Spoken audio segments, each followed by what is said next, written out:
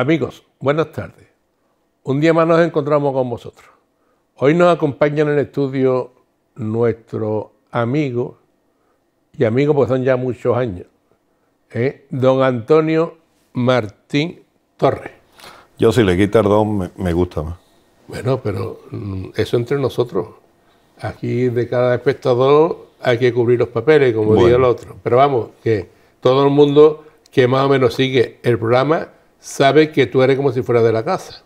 Son ya muchos años. Que por cierto, enhorabuena por haber salido otra vez presidente de UGRA. Hace poco fueron las elecciones, ¿no? El día 17 de febrero, pues hicimos la, la Junta Directiva, convocamos la Asamblea General y el día 17 se celebraron las elecciones se presentó una sola candidatura, que es la que yo presenté, y fui elegido por aclamación ¿Cómo se nota otros cuatro años más. Aquí se nota que no se gana dinero. Por eso estoy de presidente, llevo tantos años de presidente, porque no hay dinero que, llevarse. Vamos a seguir porque si no el tiempo se nos va enseguida. Eso, también te tengo que felicitar, te lo digo a ti, que lo le digo a Ugra, ¿eh?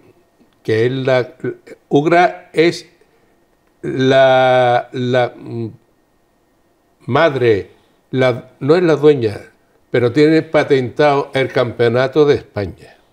Que cosa que todavía muchos aficionados que dicen que son aficionados no saben eso, pero bueno.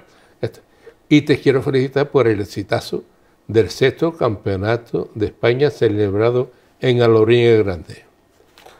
La verdad que llevábamos tiempo eh, sin realizar el campeonato de España por falta de posibles. Falta de posible porque, como bien sabe, te he comentado muchas veces, eh, el grifo del agua no los tenían cortados desde la Junta de Andalucía. Pero eh, ya estuvimos hablando el año pasado, concretamente en la Feria de Málaga, y teníamos que hacer algo. Entonces lo hemos hecho bastante austero, bastante económico, no hemos dado un espectáculo, lo que normalmente se entiende por un campeonato si se hace en un Sacá o se hace en un Fegasur, que son días durante tres días. Y entonces, aparte de lo que es el campeonato, se da un espectáculo. En este caso, hemos evitado el espectáculo, que es lo que cuesta el dinero. Y, y lo realizamos, fue el día 22 de octubre. Pues la verdad que monté un campeonato en dos meses, tienes que correr mucho para... Eh, avisar a los ganaderos para que los ganaderos preparen los animales para llevarlos al, concurso y una serie de, de, cuestiones que tiene que montar para tú que estuviste allí viste aquello que se esté medianamente cómodo y las personas que asisten y nos acompañan que estén bien, ¿no? Entonces, la verdad que quedamos contentos con el resultado. Yo te puedo decir que tú sabes que yo no me senté ni un segundo. Yo agradezco la ayuda que me echaste, pues me hiciste todo el protocolo de, de pero, aquello. Pero... con todo el mundo que estuve hablando, saludando, encantado del escenario. Bueno, el recinto era muy bonito, es muy bonito, no era, es muy bonito.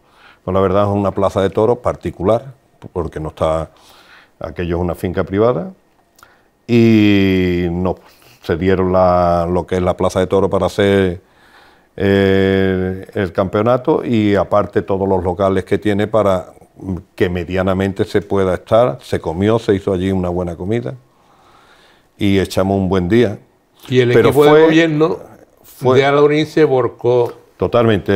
Yo, el, primer contacto que he tenido con el ayuntamiento de Alaurín en torno a lo que es un concurso morfológico de la raza andaluza ha sido esta vez y y se puso a mi disposición desde primera hora, desde que se lo comenté en el mes de... En a primero de septiembre, se lo comenté, y entonces también hay que solicitar autorizaciones, permisos, todo. Y estuvieron con nosotros, todo lo que necesitábamos lo pusieron. Y es más, comprobaste como el día del concurso, pues la señora alcaldesa, doña Toñi Ledesma, vino con su equipo de gobierno, venía casi todo el equipo de gobierno y estuvieron allí con nosotros, la verdad que lo pasamos bastante bien. Y ya para este año he hablado con ella para hacer el próximo concurso este año.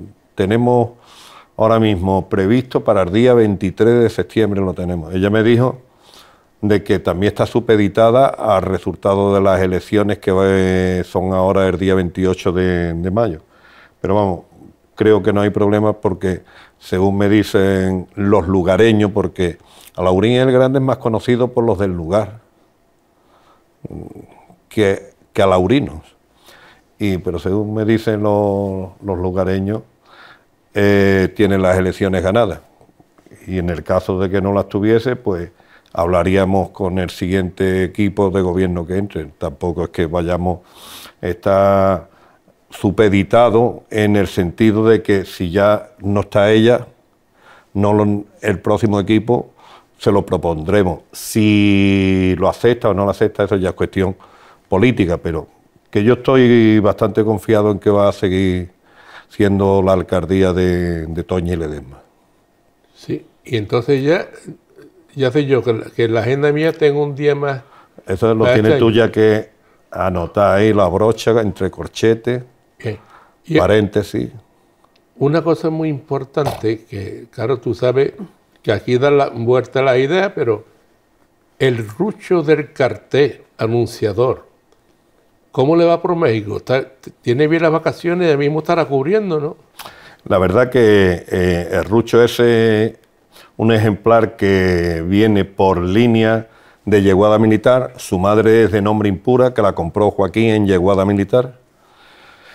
Y, el padre de Serrucho es legionario, que viene por la línea mía, hijo de Andalucía, la primera campeona de la raza que hubo. Y también un hijo de un hijo de, de hispano entonces, de Andalucía con hispano nació legionario. Está inscrito en el libro genealógico con el nombre de legionario. Y entonces los crucé y, salió eh, eh, el, producto, el producto ese. Y entonces saca legionario, se cruza con, con impura y antes de bautizarlo, pues ya estaba prácticamente vendido.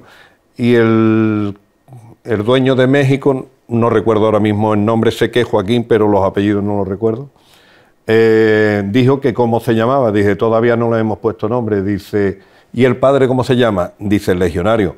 Entonces este es legionario primero, porque para que lleve... Eh, está diferenciado de, tú sabes que siempre se le pone un, ¿cómo se dice? un numerito o la inicial, ahora puesto de moda. poner las iniciales. En los caballos. Una fijo, le ponen una, se le pone una fijo. Pero aquí vamos a lo nuestro. Es la misma marca, ¿no? Hierro. Que es una marca, pero que aquí se dice hierro, como se llama en Andalucía. Sí, porque se marca fuego con hierro. O, hidrógeno. Ahora se está haciendo con nitrógeno. Entonces, eh, es que vosotros seguís manteniendo y conservando las amistades de muchos años en Colombia, México, California. Y tenemos un nombre, la verdad que Ugra allí tiene un nombre. Y entonces cuando a, mm, ganadero con importante, me acuerdo todavía de Ovidio. He dicho bien el nombre. Don Ovidio Osorio. Bien. Que además tiene un programa de mula. Muy bueno. Muy bueno. Y he aprendido muchas cosas de sus programas. Sí, señor. Pero para que tú veas que yo me tengo que acercar siempre al árbol que me da sombrita, no a que me da calor sino sombrita. Y, este hombre, el único problema que tiene con los asnos es lo que cuesta llevárselo. Es que cuesta muchísimo más que, lo que cuesta el animal. Ahí es donde está el problema, porque eh, por lo visto, eh, este le ha salido de cargarlo desde Málaga a Murcia, de Murcia a Ámsterdam, de Ámsterdam a México. Entre una cosa y otra le ha salido el transporte alrededor de, de 15 mil dólares. Ya es dinero. El animal se vendió mucho más barato. Pero eh, está orgulloso, que es lo importante. Sí, porque además estamos contentos porque este señor que lo ha comprado es veterinario. Él es veterinario y tiene una punta de hembra bastante buenas, de 12, 14 que están inscritas, algunas de ellas están inscritas, porque él era socio de Ugra y tuvo un macho inscrito también, lo que pasa que, que murió. Pero yo estoy muy contento porque es una forma de que se pueda expander lo que es la raza andaluza. Porque en las manos de ese hombre, el veterinario, le va a sacar mucho producto. Y entonces, esta sangre, pues, tú, tú me has contado muchas veces que en América no existían ni los mulos, ni los caballos, ni los asnos, que lo llevaron los españoles cuando descubrieron el continente americano. Y, y con la dificultad que tenían los barcos de antes, cómo se lo llevaron, se fueron multiplicando. Y hoy, habiendo, no van en barco, van en avión, cuesta mucho más de, llevarlo. Entonces, ese es uno de los problemas que hay para la demanda que hay de allí para acá con, con la raza andaluza de que se expanda. Por eso es importante el tema de, del semen congelado. Sí, pero el semen congelado todavía le queda mucho. Yo no sé cuánto le queda porque aquí todo lo que hay es cuestión de dinero, mientras que no, eh, cuando una cosa no es rentable porque económicamente lo que es la cría del asno no es rentable económicamente, pues entonces no se dedica a investigar. Y si encima el dinero que, que dedican lo dedican para cosas que no son productivas, como por ejemplo la congelación del semen, porque dedica... Yo he firmado muchos proyectos para que se subvencione para el tema de genética, de 10, de 12 mil euros. He firmado muchos proyectos porque la administración se lo concede subvenciones a los equipos de investigación de la universidad eh, de genética y, y, yo siempre le digo a ellos, pero si el semen del asno no vale para las asnas, para las yeguas sí, pero para las asnas no vale. Porque semen congelado. Semen congelado. Una cosa es el semen congelado y otra cosa semen refrigerado. Que el semen refrigerado sí está haciendo un buen trabajo, yeguada militar, de ahí se vende mucho esperma eh, refrigerado y sirven tanto para la asna como para las yeguas, se están sacando y además va, bastante, va bastante bien. Pero otra cosa es el semen congelado. El semen congelado no es que el semen una vez que lo congele ya no valga, que muere, no es que el semen vale el problema es eh, los diluyentes, según yo aquí no soy experto, pero según oigo a los expertos. Una vez al semen, una vez que lo van a congelar, le tiene que poner un diluyente para que se conserve. Y ese diluyente que le pone, cuando lo sacan para ponérselo a lo que es una asna, le produce una irritación que se llama vulgarmente la quema. Y entonces no preña. En cambio, si se lo pone a una yegua, sí preña. ¿Dónde está el problema? Está el problema en el diluyente, en la investigación. Y yo que he tenido tantos años de relación con los técnicos de la Junta de Andalucía, no con los políticos, los políticos ponen a los técnicos, pero al fin y al cabo son los técnicos los que desarrollan. Con técnicos de la Universidad de Genética, de los que estudian, de los que hacen proyectos para congelar semen y demás. Digo, lo que tenéis que hacer es buscar cuál es el diluyente, investigar a ver cuál es el diluyente. Y la única manera de saber cuál es el diluyente es hacer pruebas. Y para hacer pruebas tú tienes que tener, eh, estar congelando y aplicándole diluyentes diferentes. Y después coger una serie de hembras y decir, pues bueno, estas hembras, esta con este tipo de diluyente, la otra la preñamos con el otro. Y, y de ahí de donde sale, porque según los expertos, Muchas veces los medicamentos lo descubren por equivocación o porque estaban buscando una cosa y le produce un resultado diferente. Ahí es donde tenían que hacer hincapié y no lo hacen. Eh, hay una cosa que eh, en este sexto campeonato, Yeguada Militar participó, participó. Y es un éxito de UGRA. Sí. Y de yeguada militar. Y de yeguada militar Porque hemos hablado muchísimas veces que aún no se le ha reconocido a yeguada militar esta labor que ha hecho en el mundo quino. No, ni se la reconoce. Porque además es que ayuda más a los pequeños que a los grandes. Totalmente, el grande no tiene problema. claro. Los que tenemos problemas somos los pequeños. Claro, donde hay, donde tengo que ir. Y yeguada militar mm, es yeguada militar. Este Juan, este pero este Manuel, pero, tiene, pero tiene mucha profesionalidad, tienen muchos conocimientos, son amantes del mundo de los équidos, entonces eh, ahí están los mejores. Y, después, ese día me quedé maravillado. Lo comenté mucho con Beatriz. La capitán, Tamarí. De Yeguado Militar. ¿Mm? Estuvo allí que con estábamos nosotros. siempre. Eso la conozco de hace muchísimos años. Bueno, muchísimo no, porque yo muy joven, yo soy más viejo. ¿Qué es lo que ocurre? Que también nos acompañó el antiguo coronel, que estaba recién jubiladito, Juan Juan López. López, ¿eh? y, y lo comentamos, hay que ver cómo ha variado la raza andaluza. En 25 años le hemos dado un cambio muy importante, no en lo cuantitativo, pero sí en lo cualitativo. Quizá hoy haya menos cabeza que cuando se empezó, pero eh, en ellos mismos, incluso con las cabezas de ellos, se ha cambiado mucho lo que es la morfoestructura para mejorarla. Se ha cambiado mejorándola. Y de hecho, allí en el campeonato se vio. Y don Francisco Peña Blanco, catedrático de la Universidad de Córdoba por el Departamento de Producción Animal, que es nuestro profesor, nuestro maestro, pero yo a él le digo maestro, antiguamente un profesional era un es- maestro. es el que sabe, el que enseña.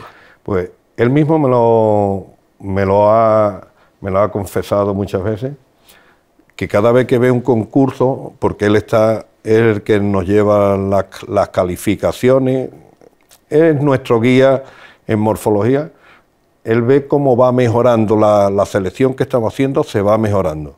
Entonces eso es importante. Después, que haya mayor número de cabezas o haya menos número de cabezas, pues ya entran otros factores que son económicos y que para qué nos vamos a meter en ello, pero Pues, no, pero tú me vas me va dando mi pie porque eso, eso pasa, la confianza dice que manda grato. No tener nada preparado, sino conforme va saliendo, vamos hablando.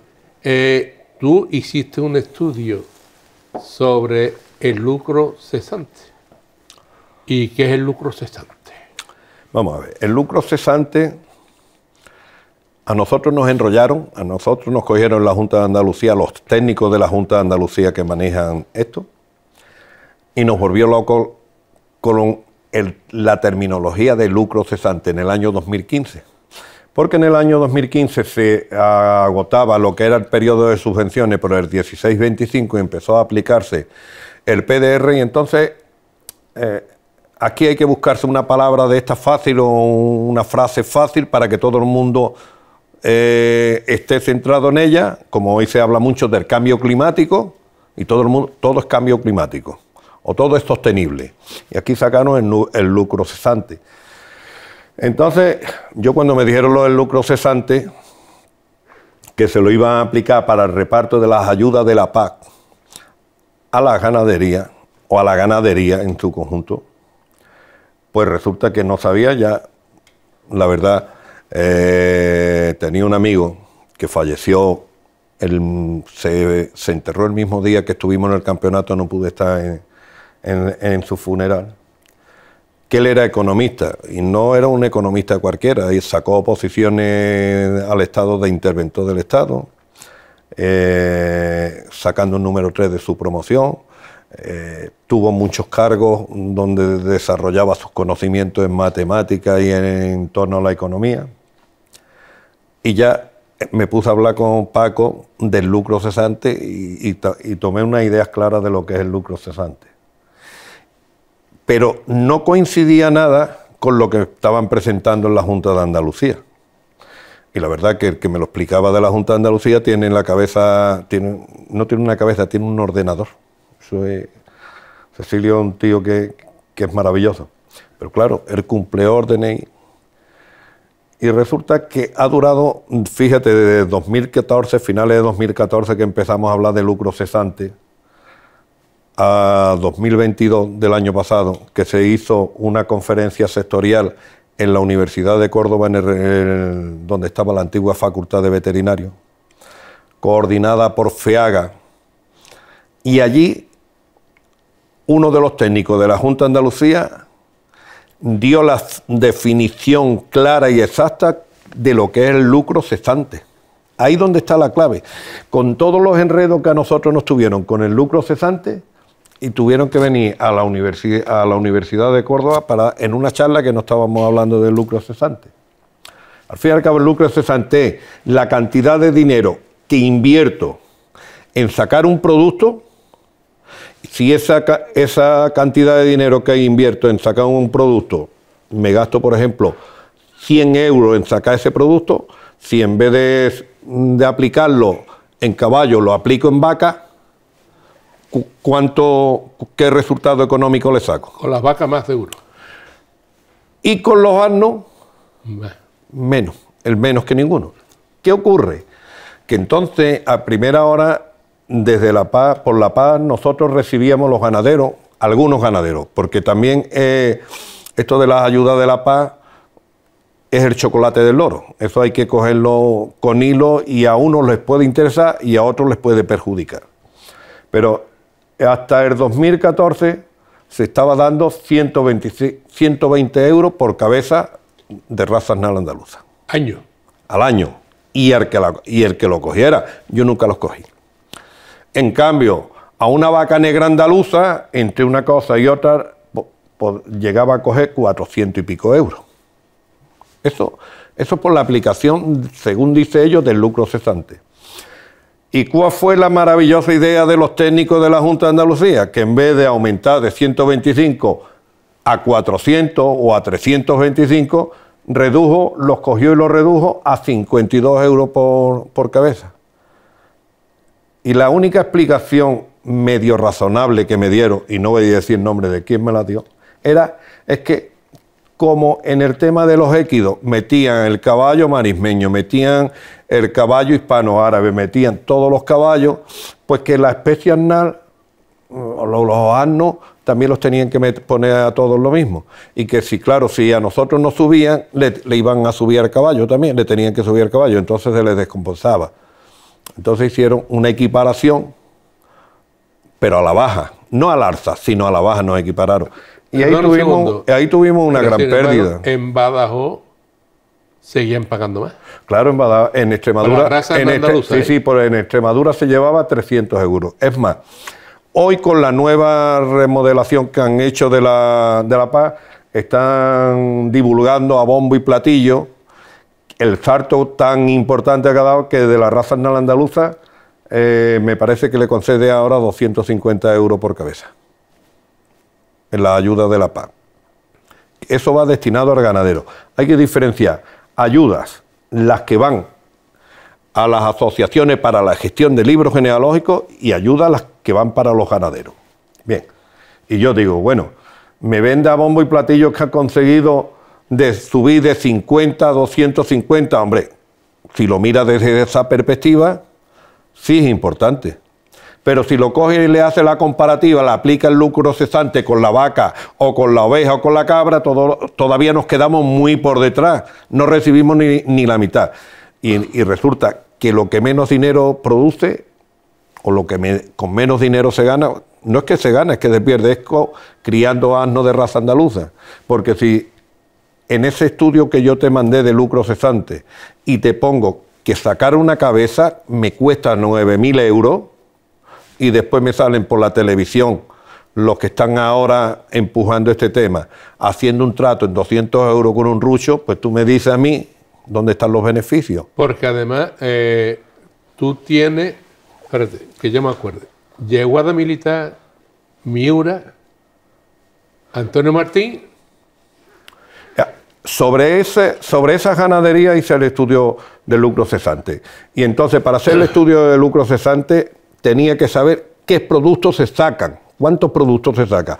Para tú saber cuántos productos se saca, yo no me puedo coger a un año, porque yo a lo mejor en un año, concretamente en este año, yo tengo 12 reproductores y de los 12 reproductores, cuando llegue octubre puede ser que salga un solo producto. Un solo producto con 12 reproductores. O puede ser que en otro año pues saque 4 o 5. Entonces, pusimos como variable cinco años. El estudio está hecho sobre cinco años. Me parece que se hizo sobre el 2012, 13, 14, 15 y 16. Hice el estudio. Me parece que fue esa la fecha. Y sobre las cuatro ganaderías más importantes que había en la raza en ese momento. Yeguada Militar, Miura, Pascual de Rute, con Adebo. A Pascual se me olvidó. Pascual, y la mía. ¿Y por qué digo la, más importante? Digo la más importante porque en un libro genealógico están recogidas todas las cabezas que tiene cada ganadero y todos los nacimientos que tiene cada ganadero. Y entonces la media que me salió era de cada cinco años, para ser más exacto, en la documentación que te envié, pone 4,8 años, esos son cinco años por cada producto, por cada producto recién nacido. No quiere decir que ese producto recién nacido, que se inscribe como por registro de nacimiento, después llegue a registro, a registro definitivo, porque la mitad se muere por el camino. Y el que no da la talla por otra parte. Pero yo me agarro solamente a lo que es el registro de nacimiento. Entonces, tú coges lo que cuesta un animal, mantener a una hembra, mantener a un macho, para sacar cada cinco años un producto que tú escribas, y salen los 9.000 euros. Y a quien se lo he explicado, se lo digo de, de golpe, dice, eso es imposible. Digo, empieza a coger una calculadora y empieza a hacer números. Tú eh, me dices cuántos kilos de cebada se come al cabo del día, cuántos kilos de paja necesita al cabo del día, cuántos kilos de heno necesita al cabo del día. ¿Cuánto necesita de cama? ¿Cuánto se lleva de veterinario? ¿Cuánto valen las cubriciones? ¿Cuánto valen los herradores? ¿Cuánto? Y empiezas a sumar. Y después coge eso y lo multiplica por cinco años. Y tú verás como hoy ya el precio que estamos, al precio que se están pagando hoy los piensos, se multiplica por mucho más.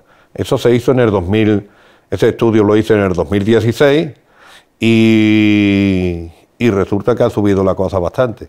Con que y me dicen que estoy loco, que yo no sé lo que estoy hablando. y yo me pongo una apuesta, yo me pongo una apuesta. como bien dice, me mandaste a mí y lo vi, eso está hecho perfectamente. Y se lo envía a la Junta de Andalucía, y se lo envía al cerebro que te digo de la Junta de Andalucía, y no han sido capaz, no han sido capaz de refutármelo. Es más, lo reté, lo reté. Le dije, digo, si eres capaz de refutar los datos que yo pongo ahí.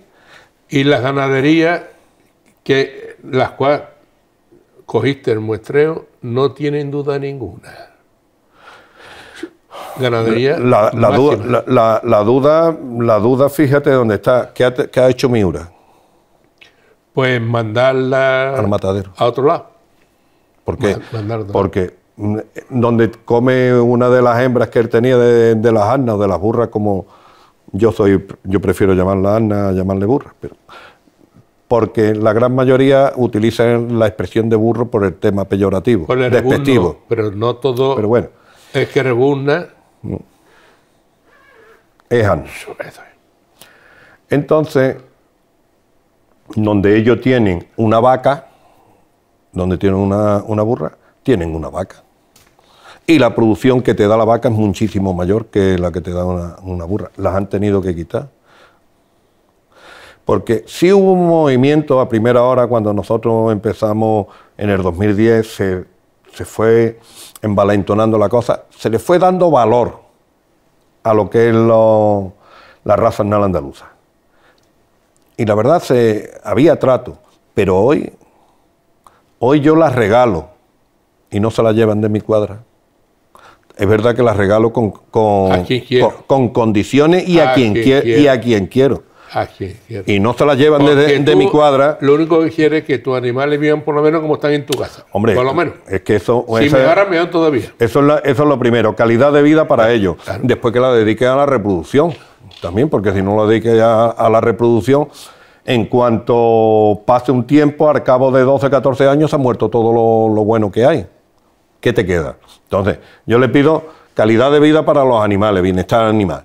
Eh, que la dediquen a la reproducción, que luchen por la raza anal andaluza, que si mañana hay un concurso, que se presente al concurso, que yo sé que cuesta, si tú mañana dices, pues yo voy a participar también con mi cabeza allí en el concurso, coger un transporte, irte al concurso, a hacer 300 kilómetros hasta allí un día, lo que cuesta el transporte, te cuesta un dinero, pero bueno, eso es lo que yo le pongo para hacerle un regalo, que a lo mejor no le estoy regalando algo bueno, le estoy regalando una penitencia, pero bueno. No, pero tú sabes que eso lo hemos hablado muchas veces, que es la utilidad. Eh, yo creo que no hay animal más útil que el asno para la historia humana. Ha sido útil, ha sido útil. Para la historia. Totalmente. ¿Eh? Y todavía en Sudamérica por ahí Sí. está- sigue siendo. Sí, pero afortunadamente para nosotros no son útiles. Bueno, no, no. escúchame. Afortunadamente Pero para nosotros. esa Pues mira, esa si, tu puede- mujer tuviera que carrear el agua con cántaro para hacer la casa, hacer la comida, entonces vería no una raza andaluza, una borriquilla moruna. Eso sería lo más grande. Pero eh, no vamos a pasar la historia porque resulta que yo soy defensor, como tú bien conoces. ¿eh? Y, y el asno ha construido el mundo. Totalmente, como tú dices, mientras que a lomo de los caballos se iba destruyendo, Claro. a lomo de los asnos se iba reconstruyendo. Y después, gracias a los garañones, existen las mulas. Lo- es fundamental, la mula es Hombre, fundamental. y eso sí, es fundamental. La mula tiene una cosa, que también tiene la inteligencia de su padre el asno. ¿eh? Y tiene la fuerza de su padre el asno. También. Y cuando sale una mula de esta, eh, pero tú sabes que se ha empleado en todo sitio, En todo. pero no se le olvida lo que tú le hagas malo. El asno no me aguanta un tortazo o dos, pero la mula te lo aguanta, porque dice aquí me va a matar, no me puedo defender, pero te la ten por seguro que no se le olvida, que te lo devuelve. Y, y tú sabes que en Colombia, y por eso se usa la jinetada, las cabalgadas, y es todo en mula, que aquí se está usando mucho la mula de silla ya, ¿eh? Es que es maravilloso Que como la trabajan está- para la vaquería. Mira, te viendo una cosa. Donde va el paso de una mula, que sepa andar, sepa andar no sabe andar todo el mundo. Que sepa andar, no le llega un caballo, pues lo, lo lleva a retote siempre al caballo. Sí. Y eso visto tú que ha hecho muchas cuestiones. Y nosotros teníamos un equipo que, que estaríamos en verano y llevaba muchas redes. Y el caballo que llegaba nuevo, que no conocía la mula y no sabía jinete dónde se tenía que poner, ese decía, no puede con el caballo, va retrotado. Esa mula hacía así. pum, pum, pum. La mula castellana, eso es de maravilla. Tú sabes que yo llego al asno a través del mulo, porque yo me soy un enamorado de- del mulo. He trabajado con ellos desde niño, sé trabajar con ellos. Y mi empeño era en criar buenos mulos. Encontré buenas yeguas y ahora no encontraba buenos garañones. Ahí donde yo empieza mi lucha en, el- en los años 95. Pero es que todos los garrañones no van a la yegua. Eso es, eso es otra historia. Eso es- eso eso es otra, eso es es historia para estudiar la parte. Pero Bueno, bueno, eh, tenemos que seguir, pero ya el tiempo se, se nos acaba, se nos agota. ¿eh? Y ya nos veremos, a ver si no es tanto tiempo. Tú sabes que tengo pendiente, tú no sabes, yo no sé si tú conoces Guadagnés de Antonio Martín. algo. ¿eh? Y quiero hacer allí un día de misa con nuestro amigo Sebastián Nava Y y, el Juan, guitarrista y Juan, Juan Cobo Juan Cobo, que un para que mm, celebra allí nuestro rato, que no es Claro. que sea, y tener allí un ratito de charla y llevar a los que nos echan una manita, Totalmente. ¿eh? y echar un ratito. Y ahora nosotros, con el permiso de Álvaro, que está ahí detrás de la cámara, nos vamos a ir a tomar una cervecita si tú quieres, que para eso venimos tú aquí a la Claro. capital del mundo. Aunque sea sin alcohol. Sí, da igual, da igual. Bueno, tú estás aquí en la capital del mundo, tú no tienes que conducir, pero yo de vuelta. Bueno. Yo esta mañana ya me he hecho la prueba de alcohol. por, ¿eh? eso, por eso ya tú dices, lleva el cartillito, prueba de alcohol a la mañana para que no te pares más. Y como siempre, muchísimas gracias por haber estado aquí. Espero que siga, A ti. ¿eh? espero que siga y que este... Que sigamos. Tenemos que seguir. Yo no Bueno, te dejo que te vayas. Yo quiero que siga tú.